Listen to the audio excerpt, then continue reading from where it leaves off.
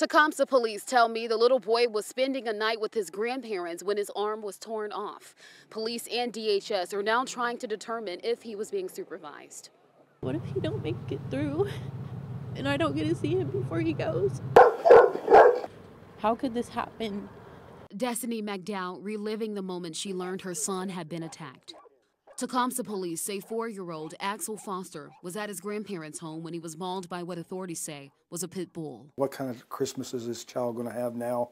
Uh, what kind of life in general is this child going to have now? Axel's grandmother telling police the little boy put his hand inside a pen that held a number of dogs to pet some puppies. And that's when he lost his arm.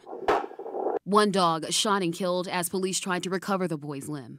I have seen dog bites in the past and, and experienced some uh, pretty brutal dog bites with children, but never uh, a complete amputation. Axel's mom telling us her little boy was taken to OU Medical Center to have his arm reattached. The thought of her son being in pain more than she can bear. We raced to the hospital and when we arrived there. The nurses and doctors confirmed his arm was dismembered from his body. To be over just an innocent type thing of wanting to pet some puppies, it's just devastating.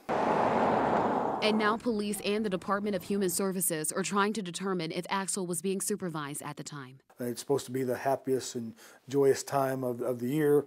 Uh, they've got this tragedy on their hands. In Tecumseh, Brya Berry, Oklahoma's News 4.